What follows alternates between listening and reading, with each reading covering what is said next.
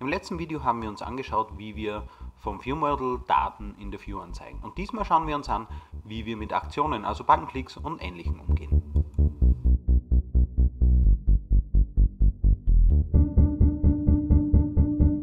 Hallo, willkommen zurück zum MVVM und WPF Praxis Tutorial sozusagen, die kleine Einführung. Und was wir schon gehabt haben, ist Data Binding im letzten Video, äh, wie findet die View zum View Model und wie funktioniert das Data Binding mit Eigenschaften und dem iNotify Property Change, damit die Binding Engine auch weiß, wenn sich etwas aktualisiert hat.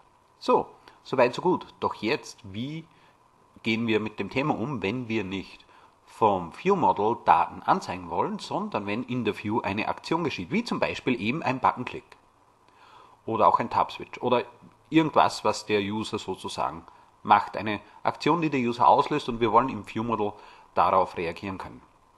Im klassischen Windows Forms hätten wir hier einen Event-Händler. In MVVM funktioniert es einen Tick anders und dazu ziehen wir einfach mal einen Button rein. Also natürlich geht das auch mit Event-Händler, nur äh, wollen wir das eben nicht. Ja? Also ich ziehe mal einen Button rein und nenne den Button Clear. Also den, den Text davon.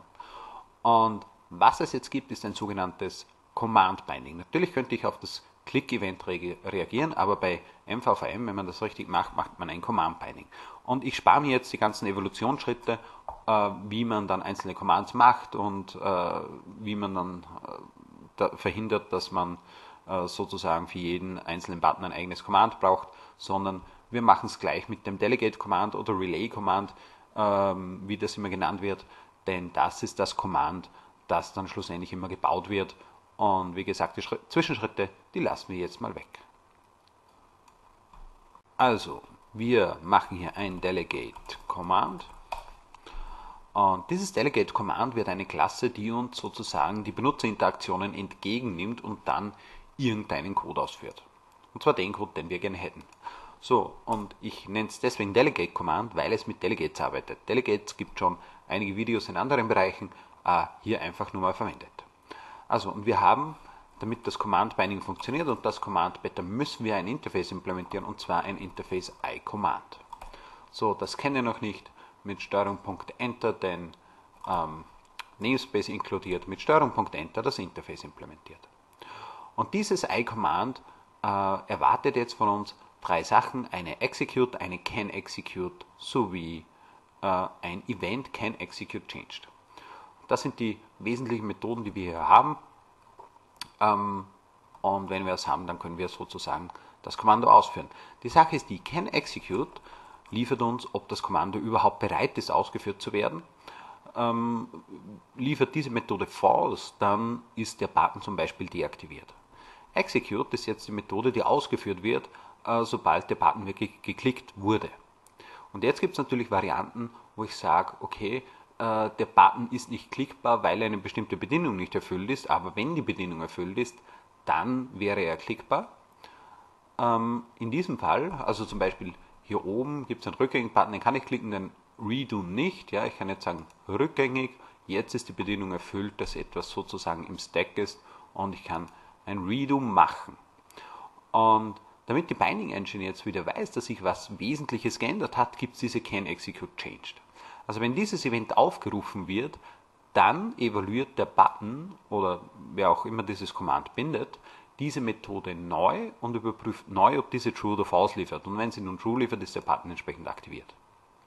Okay, das sind die drei Sachen, die dieses Command vorschreibt. Und wir wollen jetzt ein Delegate-Command machen, äh, wo wir die eigentliche Implementierung äh, extern setzen können. Also wir haben hier diese drei Methoden, die müssen wir auch, auch äh, ausführen, aber die konkrete Methodenimplementierung ist für jeden Button natürlich einen Tick anders oder auch wesentlich anders und deswegen lagern wir das in ein Delegate aus, beziehungsweise in zwei Delegates. Also, wir machen ein Read-Only Action Object ähm, Execute. Also dieses Execute Delegate ist ein Action, weil es Void liefert und bekommt ein Object als Parameter, um diese Methode hier abzubilden. Ja, und das machen wir gleich mal. Ähm, this.execute Fragezeichen mit dem Parameter. Ja, wir rufen das, wir rufen das Delegate auf, die Methode, die sich hinter dem Delegate verbirgt, sofern diese nicht null ist und geben diesen Parameter mit. So, die zweite Methode wäre ein Read-Only, liefert ein Bool und bekommt ein Object, das wäre, wenn es ein Bool liefert, ein Predicate, Object can execute. Ja, und auch hier machen wir die entsprechende Implementierung. Wir sagen, um, this can execute, Fragezeichenpunkt, invoke, Parameter und alles ist wunderbar. So, diese zwei Eigenschaften oder diese zwei Variablen müssen wir natürlich auch setzen können. Das, dazu bietet sich der Konstruktor an, Delegate Command, einmal nur das Execute, falls wir nie eine Bedienung brauchen, Execute und einmal ein Public Delegate Command mit dem Predicate Object can execute beziehungsweise Action Object ähm, execute. Ja, da machen wir ein bisschen die moderne C-Sharp-Implementierung. This can execute und this.execute ist gleich can execute und execute. Ja, wir schmeißen da schnell in ein Tupel rein und lassen es dort ausführen. Ja, hier rufen wir einfach den zweiten Konstruktor auf, also mit ähm, this mit null und execute, den wir hier bekommen. Also dieser execute wird hier, äh, dieser Konstruktor auf diesen Konstruktor auf, erst kein execute wird null und execute wird dann übergeben, was auch immer hier reinkommt. So, wunderbar. So, was haben wir hier? Bool, ja. Wenn das Ding natürlich null ist, dann muss es immer true returnen. Also wenn es nicht geht, wenn, wenn diese nicht gesetzt ist, äh, dann soll kein Execute immer true zurückgeben, damit der Button auch immer aktiv ist. Ich habe ja sozusagen keinen Filter. So, eine, kleine, eine Kleinigkeit brauchen wir jetzt noch, und zwar, äh, Events können ja nur innerhalb der Klasse gefeuert werden. Ähm, daher müssen wir eine Möglichkeit schaffen, um auch diese ähm, ja, dieses Event auszulösen. Also machen wir eine Funktion raise can execute changed. Und diese sagt can execute changed. Wenn das irgendwen interessiert, dann rufen wir das auf mit this und eventax empty. So, dieses Delegate Command wäre jetzt das Command, wie es in der einen oder anderen Library immer äh, und in der einen oder anderen Art in jeder Library irgendwo findet oder euch äh, äh, selbst, selbst mal baut. Manchmal heißt es Relay Command, manchmal heißt es Delegate Command. Ähm, wozu die einzelnen Teile habe ich euch hoffentlich soweit ausreichend äh, erklärt, sonst schreibt es in die Kommentare, können wir sicher noch das eine oder andere klären. Und jetzt sehen wir uns natürlich an, was machen wir mit diesem Command? Wieso funktioniert das jetzt? Wieso brauche ich nur eine Klasse und wie funktioniert das dann jetzt mit dem Button, dass da auch irgendwas geschieht? Denn wir haben hier einen Clear-Button gemacht. Wenn ich da drauf drücke, will ich ja, dass diese, diese zwei Eigenschaften, diese zwei Werte in den Textfeldern geklärt werden und dann natürlich auch durch das Data Binding der vollständige Name. Das sehen wir uns jetzt an. So, was immer eine gute Idee ist, ist neu kompilieren, wenn wir neue Klassen oder neue Eigenschaften im ViewModel haben ähm, denn durch dieses Neukompilieren weiß dann auch Visual Studio, was Sache ist. Denn jetzt haben wir den Button hier und wir haben hier ein ViewModel und dieses ViewModel hatte jetzt dieses First Name und Last Name etc. da und das Property Change und das Race Property Change, also alles, was wir im letzten Sample gemacht haben. Jetzt wollen wir unsere, unsere Aktion hinzugeben und eine Aktion ist jetzt immer so, eine, so ein Delegate Command und zwar als Eigenschaft. Also, wir haben ein Public I-Command können wir zurückgeben. Ja, oder wir geben auch ein Delegate-Command zurück, ist egal. Erstmal zumindest. Clear-Command get set. So, und diese, dieses Clear-Command, das kann ich jetzt, nochmal kompiliert, das kann ich jetzt binden auf den Button. Und zwar hat dieser Button eine Command-Eigenschaft und hier auch einen Command-Parameter. Diese Command-Eigenschaft, die wollen wir jetzt binden.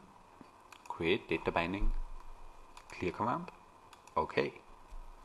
Und jetzt wird dieses Clear Command ausgeführt, sobald ich auf den Button draufklicke.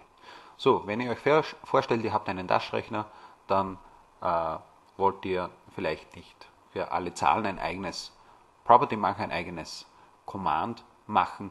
Äh, dazu gibt es dann einen Command-Parameter, wo ihr eben mitgeben könnt, okay, das war die Zahl 1, die Zahl 2, die Zahl 3, die gedrückt wurde. Und dieser Command-Parameter ist immer das, was hier als Object mitgegeben wird. Ja, das müssen wir halt dann casten auf das entsprechende Element. Okay, gut, in Jetzt wird es noch nicht funktionieren, denn dieses Clear Command hat natürlich noch keine Aktion. Da gibt es noch keinen Code, der ausgeführt wird. Das Ding ist sogar noch null. Also in Konstruktor mal gesetzt. This.clear Command ist gleich New Delegate Command. Und jetzt haben wir eben hier äh, nicht Delegate, sondern Delegate Command.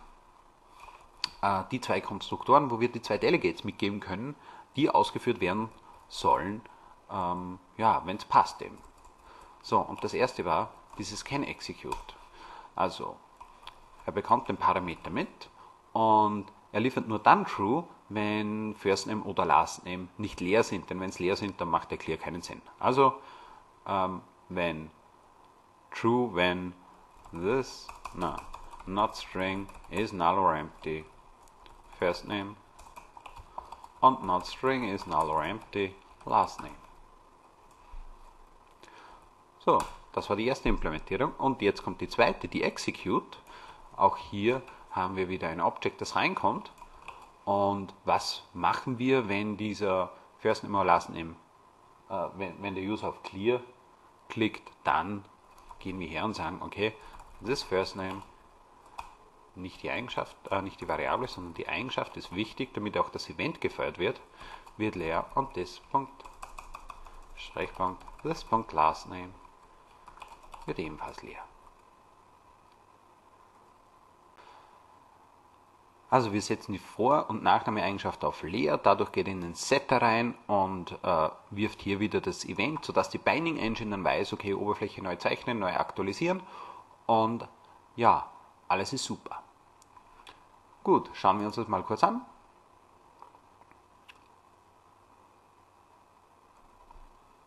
Hier ist die Applikation. Ich klicke auf Clear, die Namen verschwinden. Was er nicht checkt jetzt ist, dass das leer ist und wir eben den Button neu prüfen müssen, dass er deaktiviert jetzt wäre. Ja, aber was geht ist das hier? Ja, das funktioniert. Nur, dass der Button sozusagen das Event wirft, dass er diese Can Execute, diese Delegate-Methode hier neu evaluiert. Und wo machen wir das? Gut, das machen wir natürlich dort, wo sich Vor- oder Nachname ändert. Eigentlich in allen Eigenschaften, die hier irgendwie verwendet werden. Eigenschaften oder Variablen, ja, können wir auch die Eigenschaften nehmen, ist egal. Ähm, aber alle, die wir hier in diesem CanExecute, in dieser CanExecute-Funktion sozusagen ähm, benötigen, die sind die Werte, wo wir im Setter äh, dieses Command auf, äh, anweisen, also Clear Command Raise can execute change. Jetzt hat sich was verändert. Jetzt bitte neu evaluieren diese Methode, ja, diese eine can execute Methode. Das haben wir auch beim Last Name. Wir brauchen es nicht beim Full Name, denn hier ist sowieso, ähm, der ergibt sich automatisch.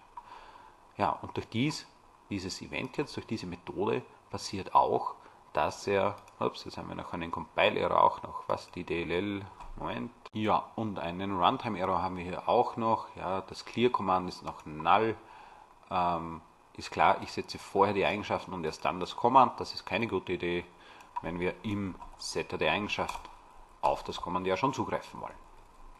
So, also erst das Command initialisieren, dann die Eigenschaften setzen und jetzt sollte es soweit funktionieren, dass wir sagen können, okay, wenn die Werte im Vorname Nachname drin sind, ja, dann ist der Button aktiviert. Ich klicke auf Clear und er ist deaktiviert. Ich klicke wieder hier rein, ich schreibe es rein, er ist wieder aktiviert. Ja, so funktioniert das Command. Also, erstens, wir schreiben uns ein Delegate-Command oder es gibt es in einer Library, die ihr verwendet. Und jede Aktion, die der User ausführt, ist nun eine Eigenschaft von diesem Delegate-Command-Typ und sie bekommt im Konstruktor mit, ob die Methode, ob der Button aktiviert ist oder deaktiviert und was denn passieren soll, wenn draufgeklickt wird. Und wenn diese Methode neu evaluiert werden soll, also wenn sich irgendein Wert hier herinnen ändert, den ihr in der CanExecute habt, dann nehmt ihr diese Eigenschaft her und schreibt dort dieses Raise CanExecute Changed. Somit haben wir hier pure Logik und die UI passt sich wieder entsprechend an. Das ist MVVM, das ist cool, das lässt sich nämlich auch Unit testen. Unit-Testen gibt es auch einige Videos dazu, wer es noch nicht kennt. Viel Spaß beim selber ausprogrammieren. Und wenn es euch gefallen hat, lasst ein Abo da.